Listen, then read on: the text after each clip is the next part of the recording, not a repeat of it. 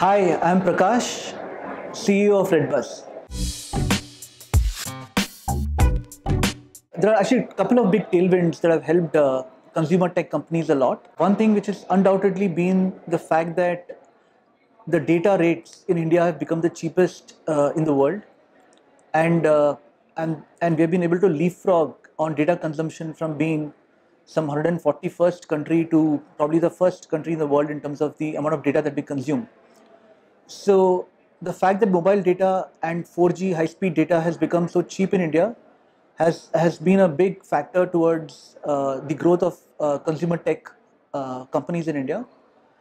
And another big factor has been uh, digital payments. There has been massive amounts of push by the central government uh, uh, for adoption of digital payments and UPI as a as a path breaking and as an innovative payment framework has really paved the way for a lot of innovative digital solutions to come about and that has also certainly helped consumer tech, especially e-commerce kind of companies. So for us, uh, we run a two-sided marketplace. Redbus is a uh, is a place where uh, we have we connect uh, bus passengers with bus suppliers with bus operators, and uh, it's a two-sided marketplace. So we look at uh, technology enablement on both sides of the ecosystem, not just on the consumer side, but also on the bus operator side. So let me give you a quick example. So uh, in India, in bus travel, it's highly unorganized. Uh, bus, we don't have bus terminals like there are airports or railway stations. So people tend to board buses from informal boarding points, and it's often a problem for them and a big source of anxiety because they don't know where the bus is at any point in time.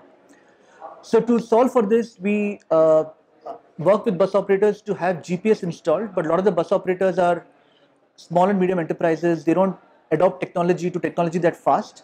So in order to help them, we also gave them a lot of tech that helped them to run their operations better. So a bus operator is now able to track his fleet at any, point in time, understand his driving behavior by his drivers in terms of unscheduled halts, uh, in terms of overspeeding, uh, in terms of route deviations.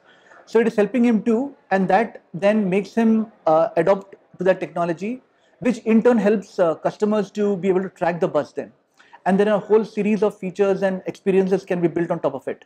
So that gives us a lot of uh, uh, ways of differentiation because then other people find it difficult to do, people who are uh, focused on only one side of the ecosystem. So because we work on both sides, we are able to uh, innovate and we are able to create differentiation. I think there are different kinds of value that customers seek. Again, talking about Redbus as a marketplace, uh, there are three distinct values that customers are looking for. One is the value of selection. So when they come to a marketplace, they want uh, they want to be able to select. They would want to see options. They would want to see choices. So that's one value. The second value that they would want is the value of convenience and experience. How easy is it to do something? How frictionless is it uh, is it to achieve something? And the third value that they're seeing is uh, seeking is of course the price value.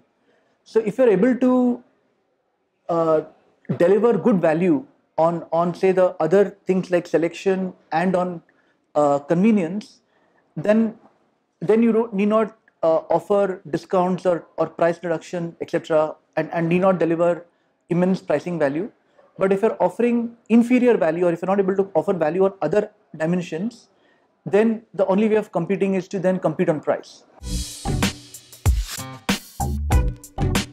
Absolutely. I think uh, uh, the way to think about uh, new things is about how do you uh, make a difference uh, to the status quo? How do you use uh, technology to leapfrog some of the challenges that are there?